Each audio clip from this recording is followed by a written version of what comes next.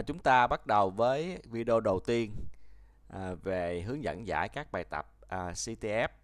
à, thông qua các video à, hướng dẫn thì à, chúng ta sẽ tìm hiểu à, các cái kỹ thuật kiểm thử bảo mật à, cơ bản tới nâng cao. Thì à, các video trong loạt video này thì sẽ được à, sắp xếp theo độ khó tăng dần và khuyến khích là người xem video à, xem các video à, thực hiện các cái à, bài tập theo thứ tự. Thì à, loạt video này sử dụng à, các cái hướng dẫn ở trang Hacking Articles um, như trên màn hình. À, thì để giải các cái bài tập CTF thì chúng ta có thể có nhiều phương pháp giải khác nhau. Thì à, trong cái loạt video thì um, sẽ sử dụng à, các hướng dẫn giải ở trang này. À, trang Hacking Articles là một trang cung cấp nhiều à, bài viết rất là hay về à, à kiểm thử bảo mật. À, nếu có điều kiện thì chúng ta có thể ủng hộ các dịch vụ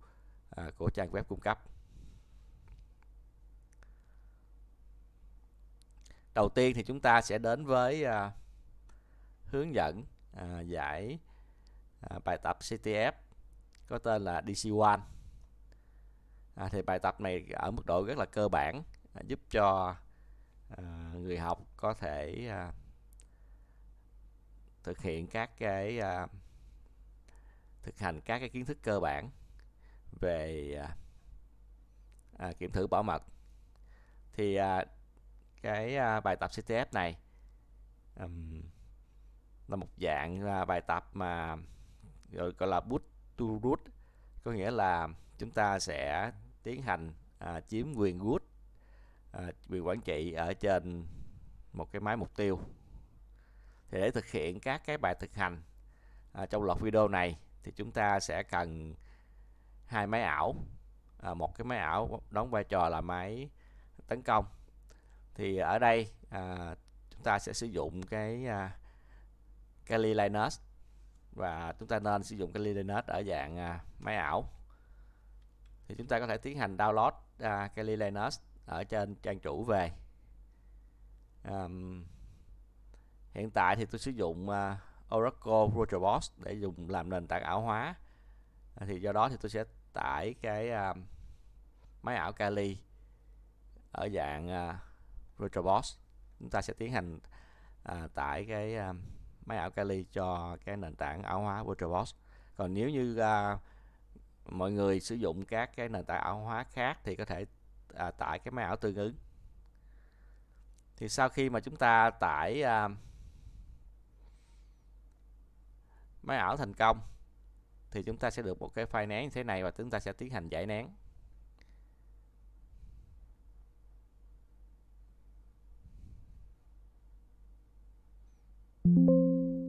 À, sau khi giải nén thành công thì chúng ta sẽ tiến hành à, chép cái thư mục à, chứa máy ảo.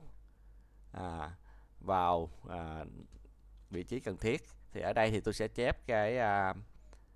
cái thư mục chứa máy ảo vào trong à, thư mục chuẩn của à, uh, VirtualBox nơi mà VirtualBox chứa các cái máy ảo. Thì thông thường đó là cái thư mục có tên là VirtualBox VMs nằm trong cái uh, uh, thư mục cá nhân người dùng.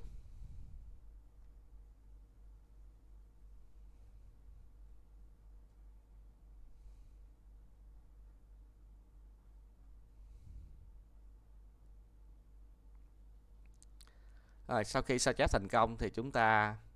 à, có thể à, thực thi cái file mô tả máy ảo để à, mở máy ảo à, Kali Linux à, trên à, VirtualBox. Chúng ta có thể tiến hành thay đổi cấu hình của máy ảo à, bằng cách là chúng ta tăng giảm à, cấu hình ví dụ ở đây tôi sẽ tăng ram lên cho máy ảo à, nếu tùy theo điều kiện của chúng ta. Nếu như à, cái máy vật lý chúng ta nó dư thừa tài nguyên dư tài nguyên thì chúng ta có thể tăng cái ram và cpu cho máy ảo để máy ảo có thể à, hoạt động nhanh hơn.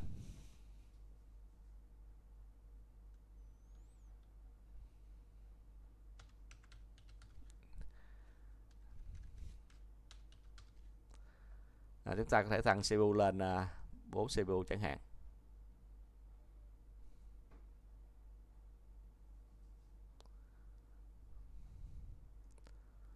Thì lúc này chúng ta sẽ sử dụng cái máy Kali máy ảo Kali để là cái máy tấn công. Còn máy mục tiêu chúng ta chính là cái máy ảo được cung cấp bởi à, à, cái máy mục tiêu. Ở đây là chính là cái máy mà chúng ta dùng để à, tiến hành à, tấn công. Đó là cái máy ảo có tên là DC1 thì chúng ta có thể tiến hành tải cái máy ảo này ở à, đường dẫn trong bài hướng dẫn.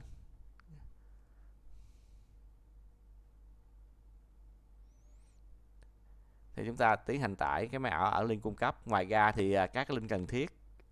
à, cũng sẽ được à, đặt ở phần mô tả của video này. Ở đây chúng ta sẽ tiến hành đi tới à, à, địa chỉ của cái máy ảo mục tiêu ở trên à, WinHub. Thì WinHub tính là một cái nền tảng à, cho phép mọi người có thể chia sẻ các cái à, máy ảo có những cái lỗ hổng bảo mật à, giúp cho mọi người có thể sử dụng các những cái máy ảo đó để làm cái mục tiêu để thực thử à, thực tập cái kiểm thử bảo mật. Thì chúng ta tiến hành là download cái máy ảo mục tiêu về. À, sau khi download thành công thì chúng ta sẽ được một cái file nén. À, chúng ta sẽ à, mở cái file nén lên. Và trong cái file nén này thì chúng ta sẽ có một cái file OPA đây là cái một cái file đóng gói máy ảo. Và chúng ta sẽ tiến hành là thực thi cái file này để chúng ta import cái uh, máy ảo mục tiêu vào trong VirtualBox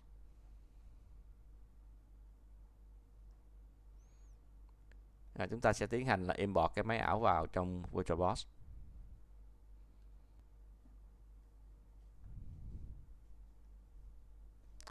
rồi sau khi uh, import thành công thì lúc này máy ảo mục tiêu nó xuất hiện trên giao diện của VirtualBox thì để bắt đầu bài thực hành thì chúng ta cần phải uh, cho hai cái máy ảo này có thể giao tiếp mạng được với nhau. Thì cách đơn giản nhất là chúng ta sẽ tạo ra một uh,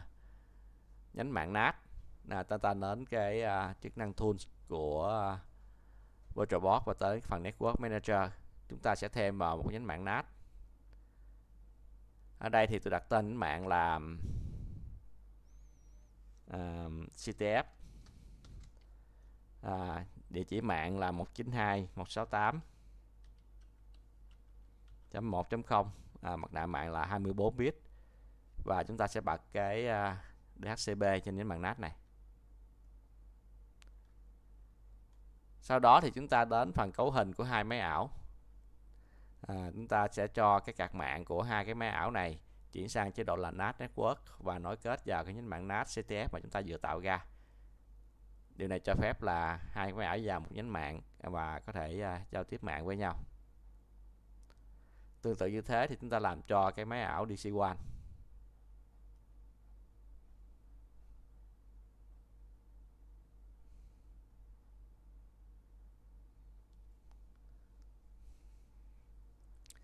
Rồi sau khi mà chúng ta à, thiết lập cấu hình mạng cho hai máy ảo thì chúng ta sẽ tiến hành là à, khởi động cái máy ảo Kali và máy ảo DC1 lên.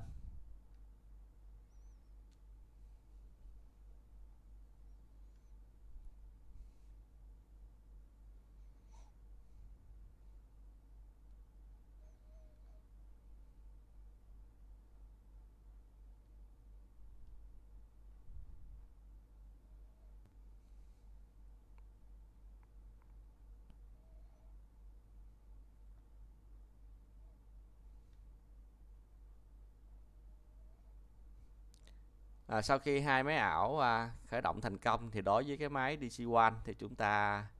à, là cái máy mục tiêu thì chúng ta à, không à, làm gì trên máy mục tiêu hết cứ để cho máy mục tiêu à, thực thi. À, trên máy Kali thì chúng ta sẽ tiến hành à, đăng nhập vào à, Kali Linux bằng tài khoản Kali và mật khẩu cũng là Kali. Đây là một cái tài khoản à, có quyền sudo được tạo ra sẵn ở trên à, Kali Linux thì đây là giao diện làm việc của Kali Linux à, chúng ta sẽ lúc này thì chúng ta đã có cái máy tấn công và máy mục tiêu thì chúng ta sẽ từ cái máy tấn công là máy Kali chúng ta sẽ tiến hành à, à, tấn công máy mục tiêu để chiếm cái quyền à, good ở trên máy mục tiêu. Thì lưu ý là cái máy mục tiêu thì người ta đã dựng sẵn các cái à, lỗ hổng bảo mật để từ đó chúng ta có thể thực hiện từng bước để chiếm cái quyền root trên cái máy mục tiêu. Thì um, trong cái bài thực hành này thì chúng ta lần lượt sử dụng một số công cụ. Đầu tiên là chúng ta sử dụng công cụ uh, Net Discover để chúng ta tìm IP của máy mục tiêu. Sau đó thì chúng ta sẽ sử dụng cái uh, công cụ Nmap để chúng ta tìm uh, các cái dịch vụ um, đang thực thi ở trên máy mục tiêu à, sau đó thì chúng ta sẽ à, tiến hành à, tìm lỗ hổng bảo mật trên máy mục tiêu để chúng ta chiếm được một cái sale của một cái tài khoản bình thường trên máy mục tiêu à, sau đó thì chúng ta sẽ tiến hành là à, chiếm sale của tài khoản good.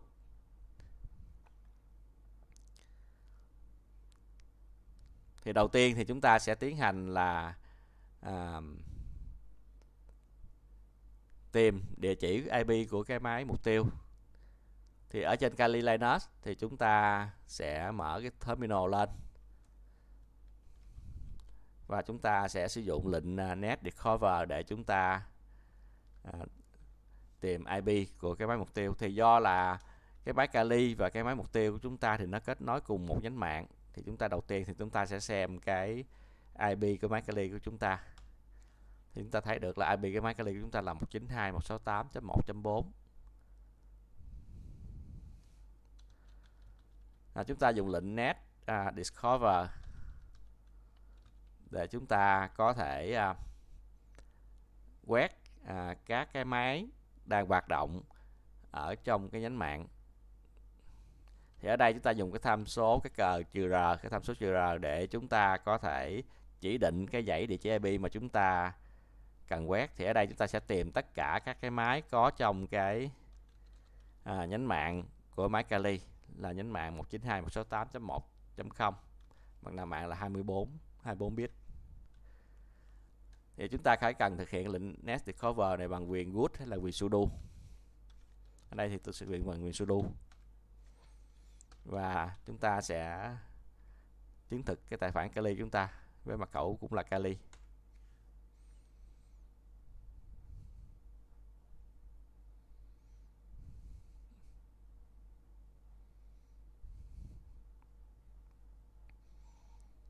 Thì chúng ta thấy là hiện nay thì à, trên nhánh mạng quét được à, một số cái à, cạc mạng à, với địa chỉ IP là .1.3 và .1.5, 192.168.1.3 và 192.168.1.5 thế là chúng ta có thể kiểm tra bằng cách là chúng ta coi thử cái à, địa chỉ MAC của cái máy DC1 thì chúng ta thấy cái máy DC1 có cái địa chỉ mát à, 3 số cuối là 10E do đó thì chúng ta thấy à, được là địa chỉ IP của cái máy à, DC1 đó là 192.168.1.5 chúng ta có thể để cái à, Nest Discover này à, à, để ở đây. Chúng ta mở thêm một cái tab mới bằng cái lệnh là bằng phím là Ctrl Shift T. Ta mở một tab mới của cái terminal chúng ta có thể kiểm tra kết nối mạng bằng cách là chúng ta sẽ ping tới cái địa chỉ IP vừa tìm ra địa chỉ IP của cái máy mục tiêu DC1 192.168.1.3 thì chúng ta thấy là chúng ta bình thành công tới cái, cái máy mục tiêu. Như thế thì chúng ta đã hoàn thành cái bước là chúng ta tìm được uh, địa chỉ IP uh, à, của cái máy mục tiêu à, tiếp theo thì chúng ta sẽ sử dụng à, công cụ nmap để chúng ta tìm à, ta tiến hành quét cổng để tìm các cái dịch vụ mạng mà đang chạy trên cái máy mục tiêu. Thì ở trang Hacking Article sẽ có những cái bài hướng dẫn chi tiết về à, các cái công cụ mà chúng ta thực hiện kiểm thử bảo mật. Trong đó có cái công cụ Nmap thì chúng ta có thể à, đọc qua à, các cái hướng dẫn về Nmap trong các cái bài viết trên trang này. À, ngoài ra thì à, tôi có thể dành thời gian để làm một số cái video để hướng dẫn ta sử dụng à, các công cụ này. Rồi thì để mà tìm các cái dịch vụ à, có trên một cái máy mục tiêu thì chúng ta sử dụng cái công cụ Nmap à, với cái à, cờ SV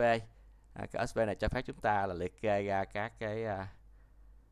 dịch vụ mà có đang chạy ở trên cái máy một cái à, máy mục tiêu có một cái địa chỉ IP nào đó. Chúng ta có thể xem các cái tham số của nmap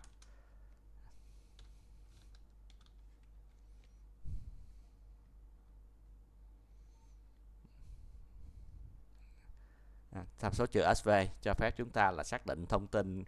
à, của các cái dịch vụ có trên một cái máy mục tiêu. Như thế thì ta sẽ thực hiện lệnh nmap trừ sv và cái địa chỉ IP của cái máy mục tiêu là 192.168 à, chấm 1 chấm 5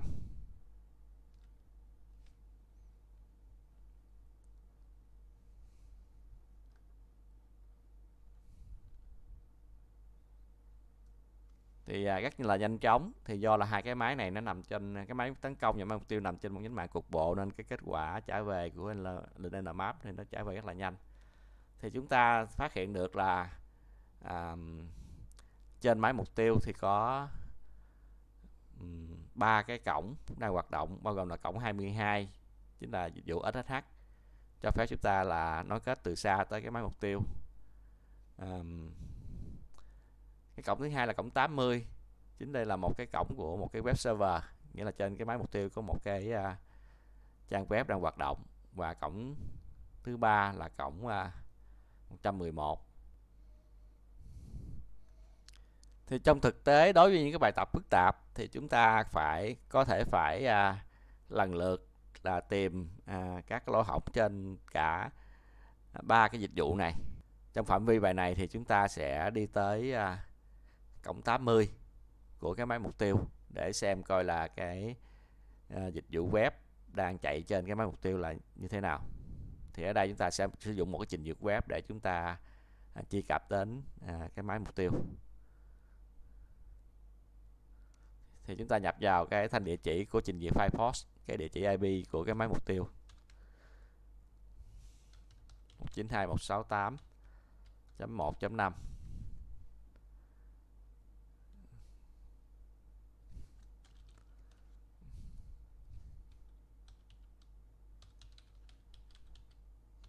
à, ta nhớ thêm vào cái giao thức HTTP để chúng ta truy cập đến cái dịch vụ web trên cái máy mục tiêu.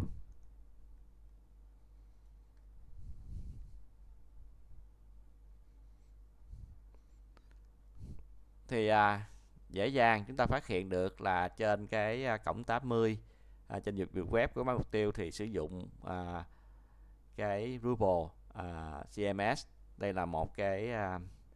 CMS cho phép chúng ta à, quản lý à, nội dung. À, thì chúng ta có thể sử dụng các cái à, à, công cụ tìm kiếm để xem thử coi là cái Drupal CMS này nó có những cái à, lỗ hổng bảo mật nào để có thể khai thác hay không. Chúng ta có thể à, sử dụng từ khóa để à, tìm kiếm thì chúng ta thấy nhanh chóng là à, trên cái à, cái CMS ruble này thì nó sẽ có à, một số cái à, lỗ hổng bảo mật và có thể khai thác.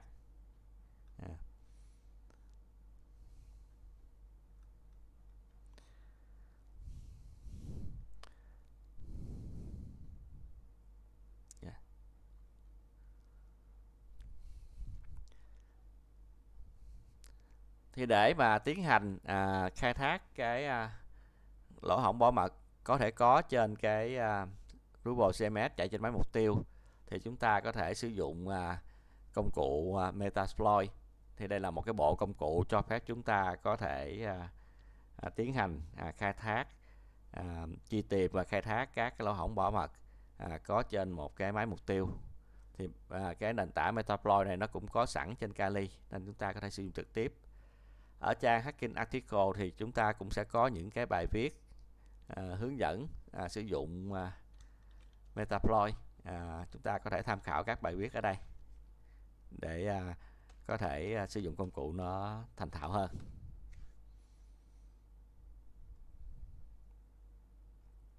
À, quay lại với cái máy Kali. À, thì chúng ta quay lại với terminal. À, chúng ta mở một cái à, à, chúng ta có thể xóa cái à, ta mở một cái tab mới à, để chúng ta tiến hành là truy cập vào cái công cụ Metaploy. Ta sử dụng cái lệnh là m à, à, lệnh là msf console để chúng ta truy cập đến cái à, nền tảng Metaploy. Thì như đã nói thì à, à, Metaploy đó là một cái bộ công cụ để cho phép chúng ta có thể à, tìm và khai thác à, tấn công à, các cái máy các cái lỗ hổng khai thác những lỗ hổng bảo mật trên một cái à, mục tiêu nào đó. Thì để à, tìm các cái công cụ à, mà có thể à, khai thác cái lỗ hổng à, trên cái à, Drupal CMS thì chúng ta có thể sử dụng lệnh search để chúng ta tìm với cái từ khóa là cái tên à, CMS Drupal à, thì chúng ta thấy là có khá nhiều à, à, cái um,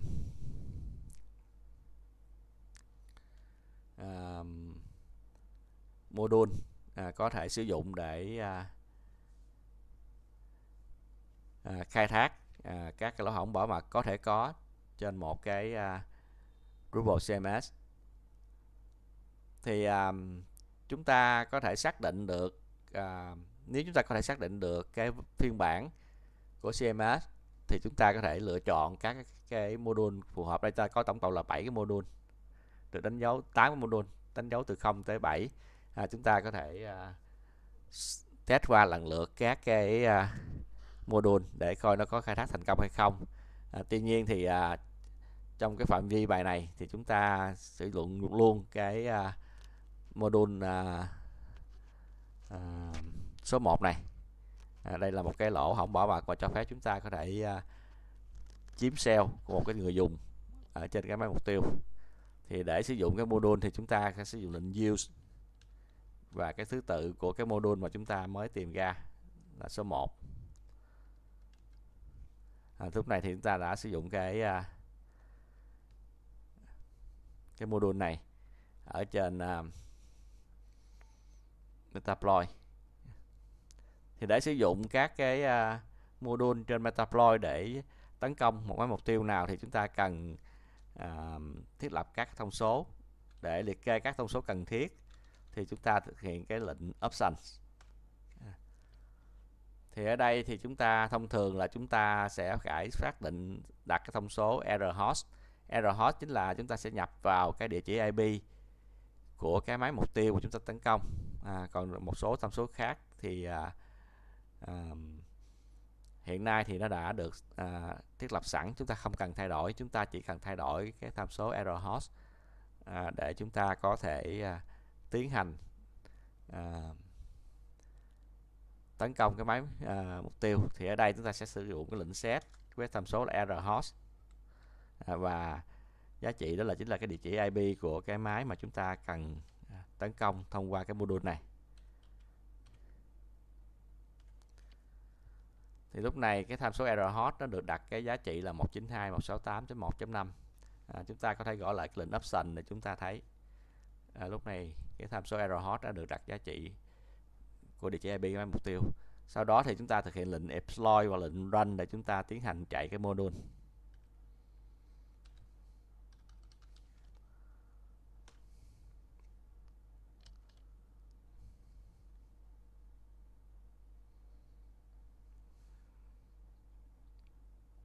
Và hiện nay thì à, cái module này thực hiện thành công. Và chúng ta đã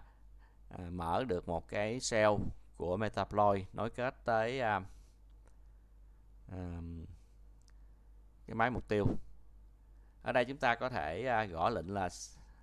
à, system info để chúng ta xem cái thông tin của cái máy mục tiêu. Thì ta thấy được cái máy mục tiêu thì đang chạy cái hệ điều hành là Linux phiên bản 3.2 à, cái tên máy là DC1 vân vân. Để mở sale thì chúng ta có thể gọi lệnh sale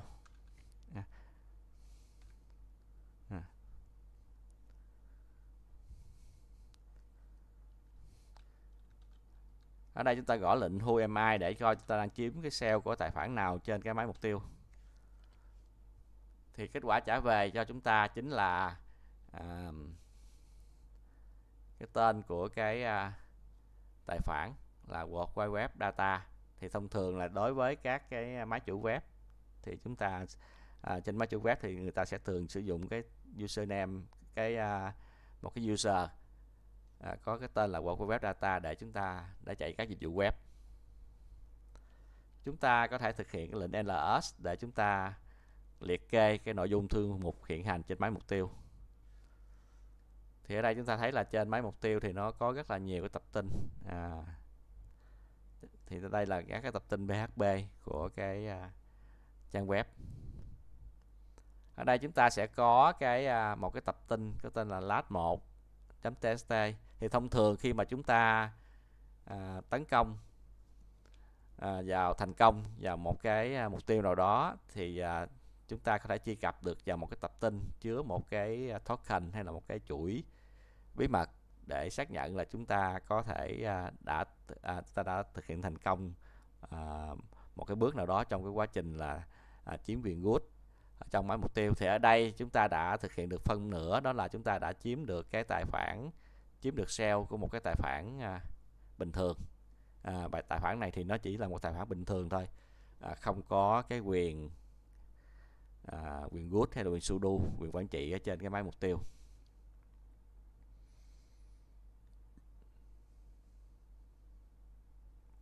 Chúng ta có thể hiển thị cái nội dung của cái tập tin ra. À,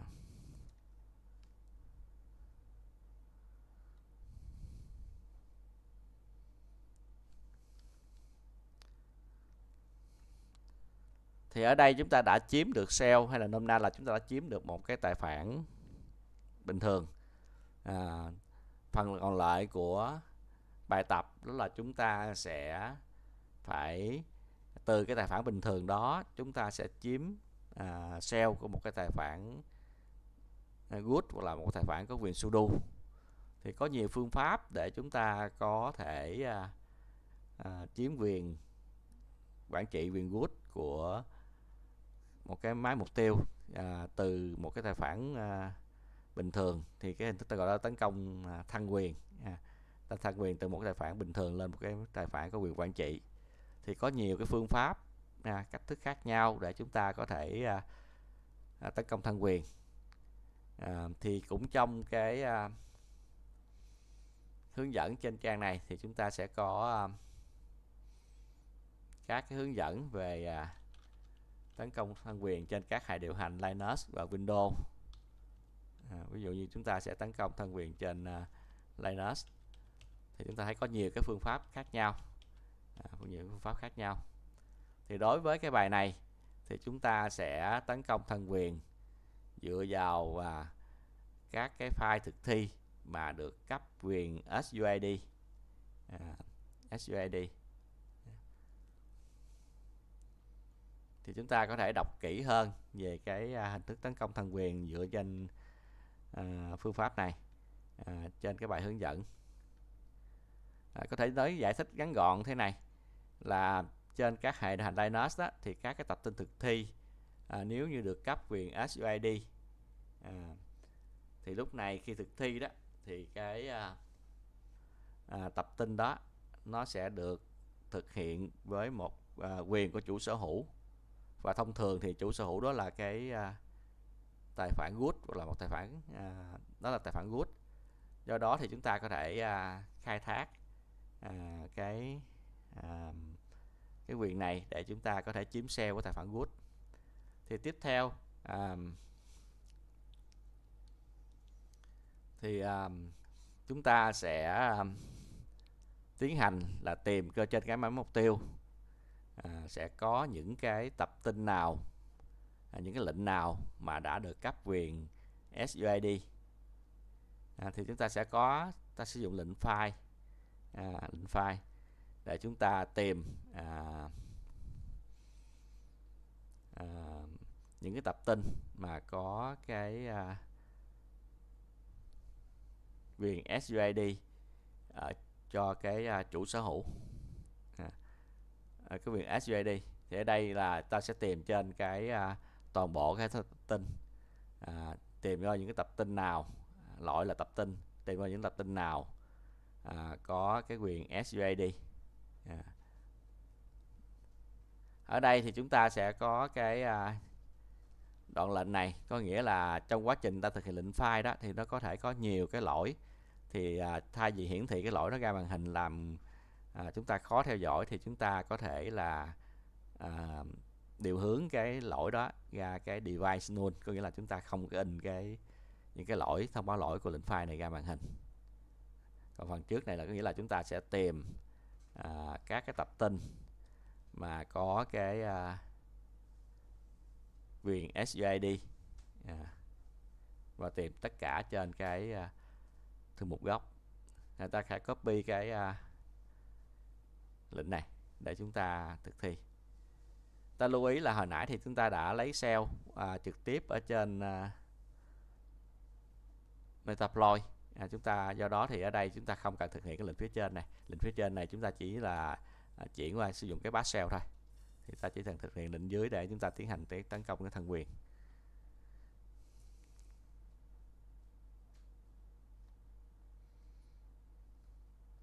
À, chúng ta sẽ copy lệnh và thực hiện lệnh.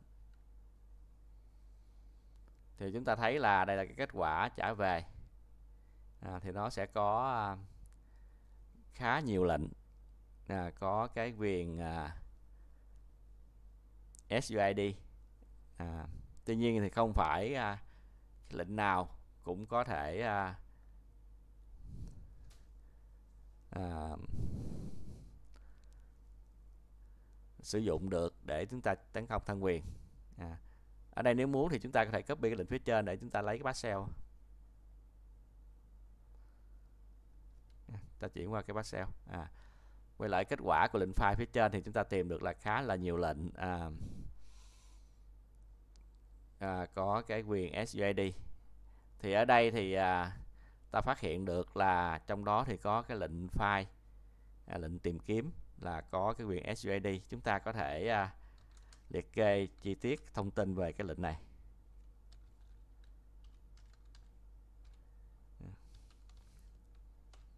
Thì chúng ta thấy là lúc này thì à, cái lệnh này nó sẽ có à, cái à, cái từ S ở đây có nghĩa là à, cái lệnh này nó được à, cấp quyền SUID có nghĩa là khi mà thực thi thì nó sẽ thực thi bằng cái quyền chủ sở hữu nghĩa là cái quyền của good bất kể người thực thi là ai. Ví dụ hiện nay chúng ta đang là cái người dùng World Web này thì chúng ta thực hiện lệnh file thì cái lệnh file cũng sẽ được thực hiện bằng quyền của good à, chứ không phải là thực hiện của người, người dùng World Web. Thì chúng ta có thể à, khai thác cái điểm này để chúng ta tiến hành kiếm cái good sell thì để chiếm uh, à, good sell thì tôi làm thế nào? Khá là đơn giản thì lệnh file đó nó sẽ cho nó có một cái cờ SQL là ngoài việc là khi chúng ta tìm một cái uh, tập tin nào đó thì uh, nó cho phép lệnh file này uh, thực hiện một lệnh khác bằng cách là ta truyền cái lệnh đó uh, vào à, cái tham số SQL của lệnh file thì do cái lệnh file à, chúng ta ở đây chúng ta có thể nó thực hiện bằng cái quyền good và do đó thì cái lệnh mà thực hiện bởi lệnh file phía sau này cũng sẽ được thực hiện bằng quyền good à, như thế thì đầu tiên là chúng ta để đơn giản thì chúng ta sẽ tạo ra một cái tập tin. À, có tên là bất kỳ. Ở đây thì à, à, tạo cái tên như là cái hướng dẫn bằng lệnh toss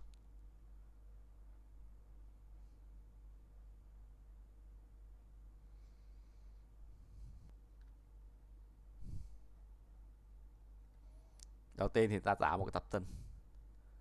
À, thì chúng ta có thể thấy được là cái tập tin này đã được tạo ra ở trong à, thư mục hiện hành. Sau đó thì chúng ta sẽ sử dụng lệnh file và tìm tập tin. Thì chắc chắn là à, cái lệnh file nó sẽ thực hiện thành công tại vì chúng ta có một cái tập tin à, với cái tên vừa tạo ra. Tuy nhiên thì ở đây chúng ta sẽ thêm vào một tham số là SQL của lệnh file. Cái tham số này cho phép chúng ta à, thực hiện một cái lệnh sau cái lệnh file đó thì thực hiện nếu tìm ra thì sẽ thực hiện một cái lệnh nào đó. Thì ở đây thì chúng ta sẽ truyền vào cái lệnh mà chúng ta cần thực hiện. Ví dụ ở đây thì chúng ta thực hiện cái lệnh là uh, who am I? Who am I?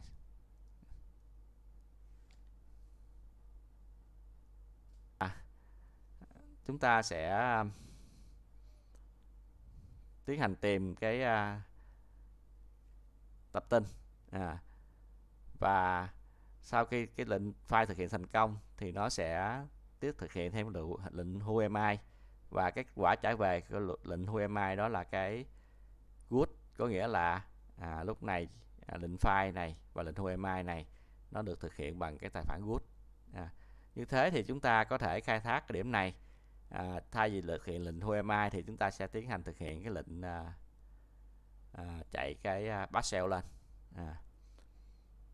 để ta chiếm cái sale của good.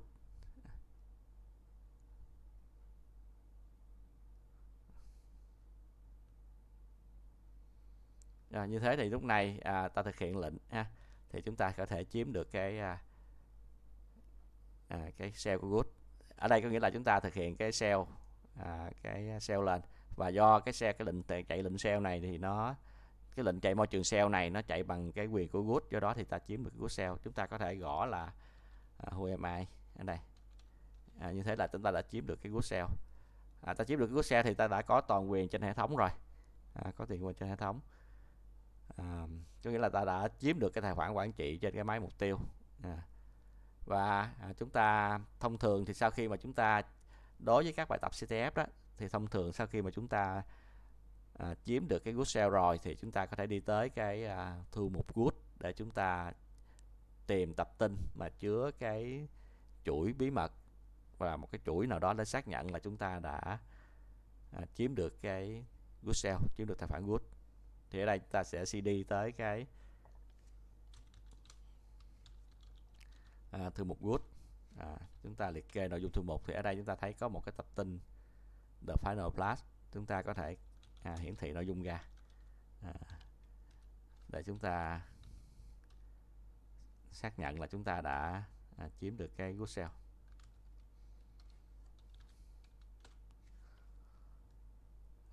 thì đối với một số cái bài à, các cái cuộc thi CTF à, thì ở trong cái tập tin này nó sẽ chứa một cái token bí mật. Và chúng ta sẽ lấy cái token đó và chúng ta nộp trên à, một cái à, giao diện nào đó để xác nhận là chúng ta đã hoàn thành à, cái à, thử thách.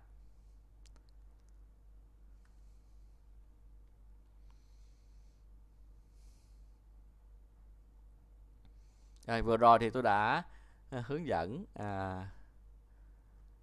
mọi người à, tiến hành giải cái à, bài tập à, DC1 thông qua cái bài tập này thì chúng ta nắm được à, các cái kiến thức cơ bản sơ khởi để chúng ta có thể à, thực hiện à, các cái bài tập tiếp theo. À, cảm ơn mọi người đã theo dõi video à, hẹn gặp ở các cái video tiếp theo Thank you.